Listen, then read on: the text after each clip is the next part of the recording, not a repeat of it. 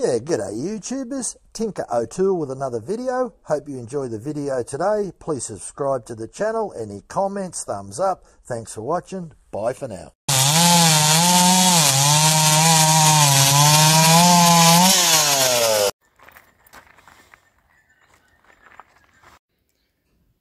Yeah, g'day YouTubers, Tinker O'Toole again here with another video. Today we took delivery of the Stihl USG uh, Hexa wheel. It's a different type of wheel. It's 5 millimeters wide. It's dressed uh, with the V 120 degrees. Uh, so we'll just show you that.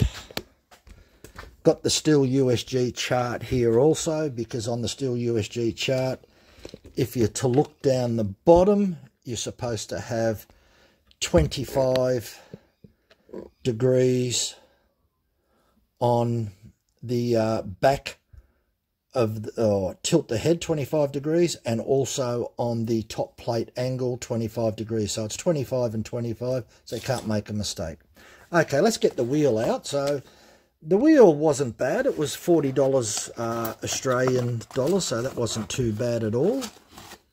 And there it is. There, the Stihl Hexa wheel. Now, it is definitely finer than the standard wheels. Uh, I'm almost thinking it's about 80 grit. The dealer sort of seems to think that it's got some diamond coating on the outside, so whether that's true or not, I don't know.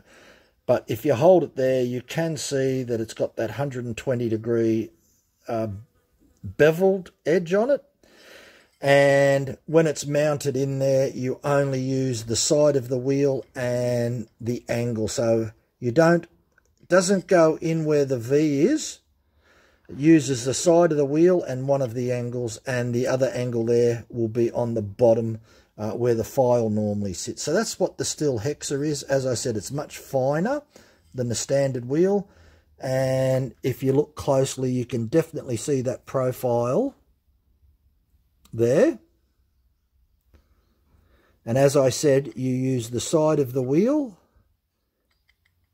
and the vertical, you use the, the vertical axis and you use this dress side. These two angles here, if you hold it like that, this angle here, I'm just trying to focus again. This angle here and this angle, it's on the edge here, this makes 120 degrees. So that's your 120 degrees. And as I said, you sit it in, you set it at 25 degrees for the top plate angle and 25 degrees for the uh, top plate cutting angle, which is the uh, head that tilts. So we'll go on to the next stage. We've got to pull this wheel out. So we've got to take the uh, this wheel out and we'll put the hexa wheel in and we'll set it all up and we'll just take it from there.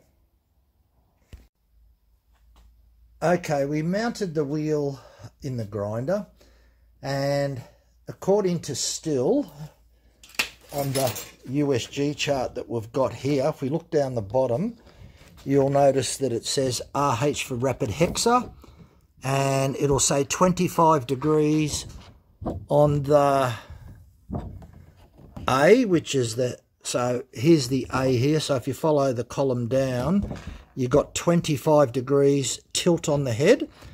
And if you look at the top plate angle, which is the C column, so that's the C column there. We follow that down from there, now there's the C column right down to the bottom. We've got 25 degrees. So it's 25 degrees and 25 degrees. So for those that just want to uh, think of uh, Oregon type grinders. 25 degrees is 65 degrees on an Oregon style grinder. So, because we use zero degrees reference point on a Stihl USG. So we've got 25 degrees on there.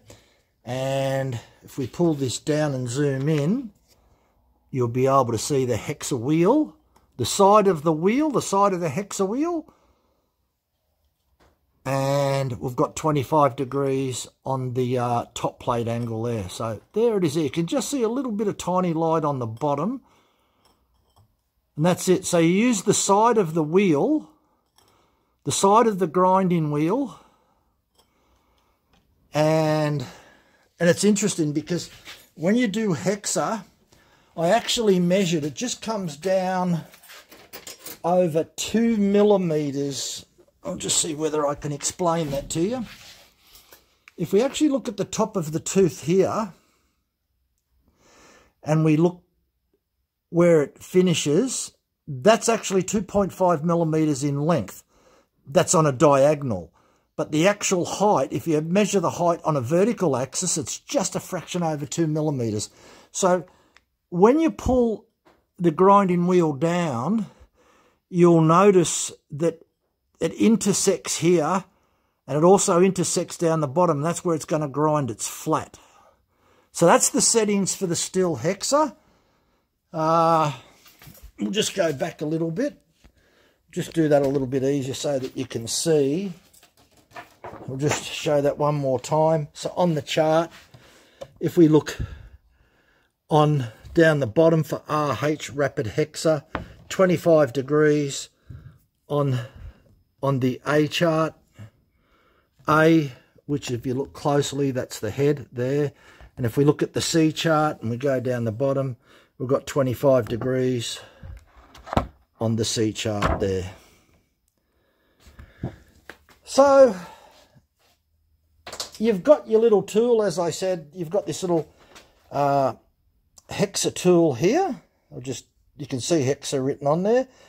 And that's your 120 degrees there, so it's a matter of just dressing the wheel with a dressing block. And uh, if we bring the grinding wheel down, you may be able to see that. We'll just actually put this up on a vertical axis.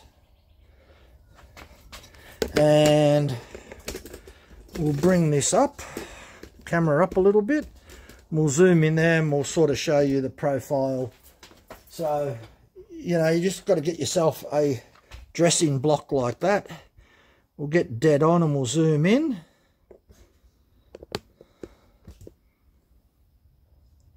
there it is there I'll just see whether you can and if we use you can see that very clear now and if we use the hexa so that's what you're looking for to dress so that you can't see any light through that's that's dressed that's brand new wheels never been used so it would be just a matter of holding it at this angle here and dressing down like that and using your tool to make sure that you've got it right. So that's it. That's what the Hexa wheel looks like.